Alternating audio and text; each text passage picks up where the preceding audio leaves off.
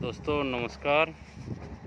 ये जो है रेलवे का, ये है बी टू हंड्रेड मास्ट ये इसे जो है कि एंकर का है।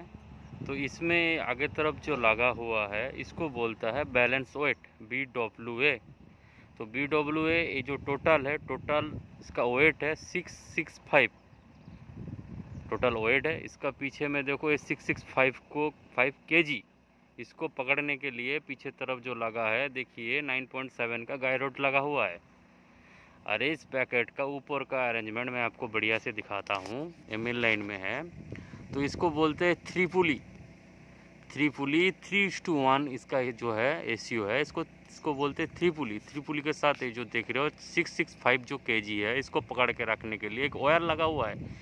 इसको बोलता है S S rope wire S S S ब्रोयर wire के नीचे जो लगा है इसको बोलते हैं एडजस्टर। एडजस्टर के साथ ये रॉड के साथ ये जो है बैलेंस वेट लगा हुआ है। देखिए मास्ट के साथ ऊपर में एंकर फिटिंग लगा है एंकर फिटिंग के साथ थ्री पुली लगा है। थ्री पुली के साथ देखिए एडजस्टर लगा हुआ है। एडजस्टर के आगे में देखिए वन मीटर रॉड लगा हुआ है।